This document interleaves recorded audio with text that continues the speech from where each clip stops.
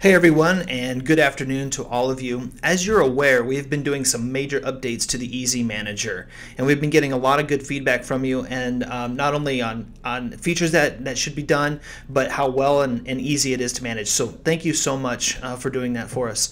One of the last steps in this update for the EZ Manager is moving away from um, FreshBooks as our invoice handler to now Stripe as the gateway and the processor for credit cards and doing the invoicing in house. We're no longer going to have this EZ Manager component and this FreshBooks component. It's going to be Stripe uh, for the full integration. And this is going to actually safeguard your credit card information even that much better, even to the next level of PCI compliance, where we are never going to see your card information.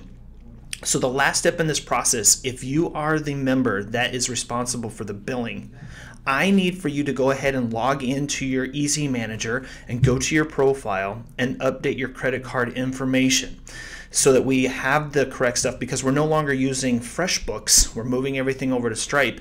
We have no preview of your credit card information and we don't want to know what your credit card information that is for you that is for you to stay safe but in order to get this last bit done, we need you to go in and make sure that your credit card information is completely updated with the card number, the expiration date, the zip code, and the CVV number.